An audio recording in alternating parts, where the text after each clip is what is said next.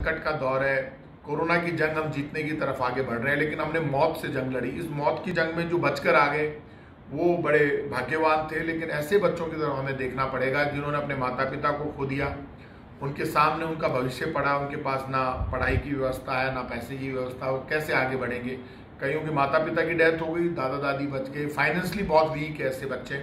उन बच्चों के लिए सिविल लाइन्स में हमने किड्स वेलफेयर फंड बनाया। छः महीने की तनख्वाह में मेरे पाँच लाख दस हज़ार रुपये उसमें डाल रहा हूँ। हमारे साथ ही लोगों को हम उसमें जोड़ेंगे।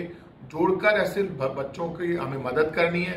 मुझे पक्का विश्वास है, जैसे सिविल लाइन्स में मैंने शुरू किया है, वैसे ही बाकी विधानसभा क्षेत्रों में और एमएलए शुरू करेंगे। तो पूरे राजस्थान के 200 विधानसभा क्षेत्र मिलाकर पूरे राजस्थान में जितने भी अनाथ बच्चे हुए हैं अपने अपने विधानसभा क्षेत्र में उनकी स्थितियाँ हम ठीक कर पाएँगे और उनकी व्यवस्था कर पाएँगे। ना रोटी के संकट आएगा, ना पढ़ाई का संकट आएगा और उनका सुनहरा भविष्य बन सकेगा।